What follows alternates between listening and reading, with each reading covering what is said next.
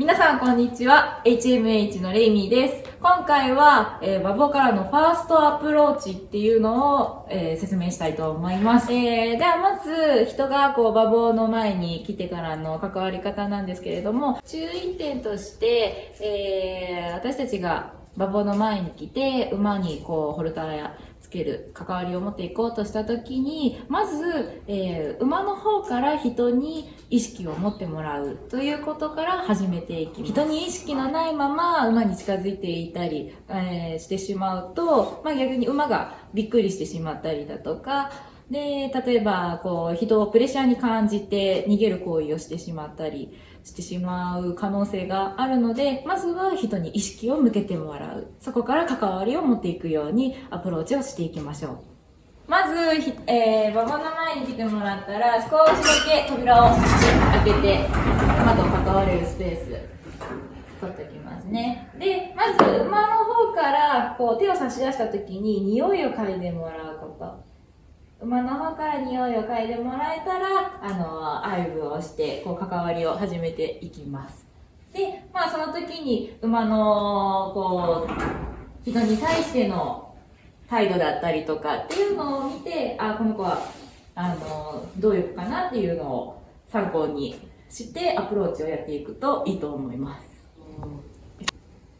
この時に、えっ、ー、と、じゃあ、馬が人に意識のない場合っていうのがありますよね。例えば、お尻を向けた状態で、あの、外を見ている馬だとか、人に意識のない子に対してはどういうふうにしていくかっていうと、あと、二者選択のことをやっていって、馬は草食動物で安全と快適を好む動物で不快を好まない動物ということなのでどういうところ、えーと、どういうことをしたら快適なのかっていうのを2者選択させていくんですね。お尻を向けている馬に対してはでは後ろからあのお尻の方にまあ何でもいいです。あの少しプレッシャーをかけていきます。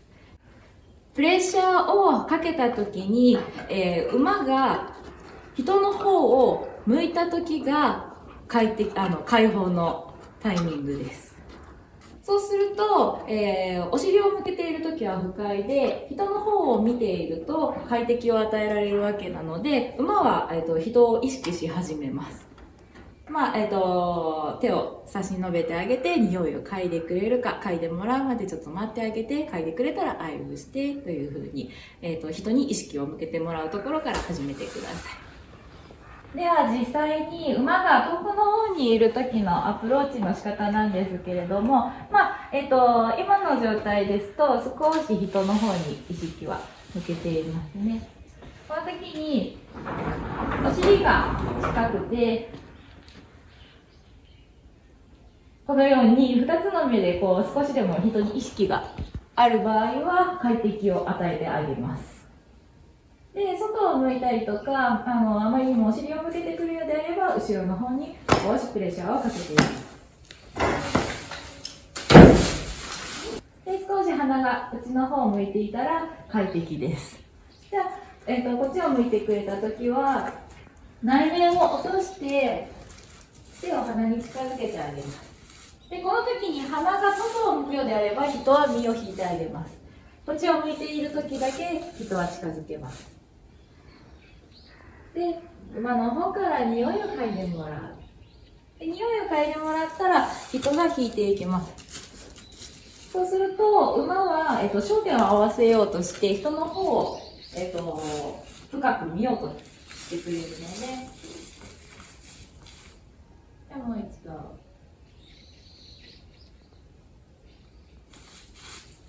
ちょっと水に当ててみましょうか。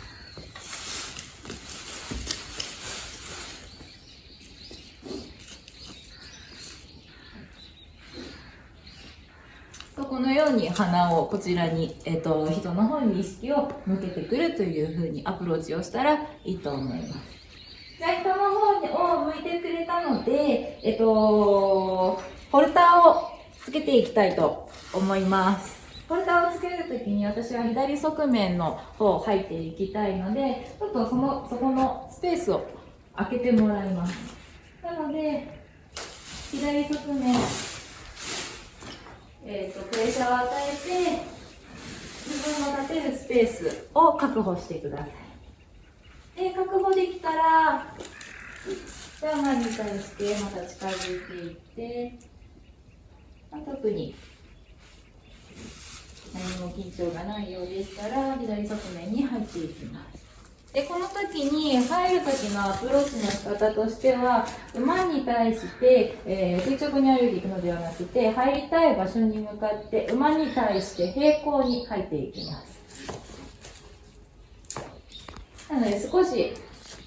えっ、と、ずらす感じですね、目線を。ずらしてこう馬に対して平行にまっすぐ入っていくと,、えーと割と馬にはプレッシャーをかかりづらく入っていけるので平行に入っていきましょう。ではまずホルターつけていきたいと思います。まず首の方にロープをかけておきます。そうすることによって、まあ、何か馬どこか行こうとしたりだとか何かあった時にロープを使って鼻先をこっちに持ってきたりとかガイドができるので念のために首にかけておきます。でそこからホルターをつけていきます。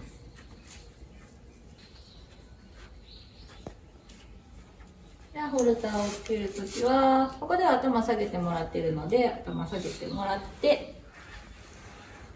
鼻を通してで鼻先を少し内側に向けておきます。こうすることによって、もし馬が何かびっくりした時に、えっと、バタバタと動いたりとかした時でも、鼻内側に向けていたら、あの、後ろ足っていうのは外に逃げやすいので、蹴られたりとかする、えっと、可能性っていうのは軽減されると思います。下の方に意識向けてもらいながら、鼻を少し内側。そこからホルターを結んでいきます。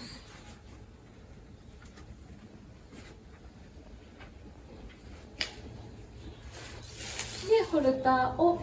つけることができたらリードロープもほどいてあげてはいこれでホルターをつけるところまではできました。えつけることができたので、じゃあここから、えっと、自分のパーソナルスペースを教えたりとか、この中で手入れをして、そこからえっ、ー、と、連れていったりとかすると思うんですけれども、えっ、ー、と、その方法は次に次回、えー、説明しようと思いますので、今日はここまで。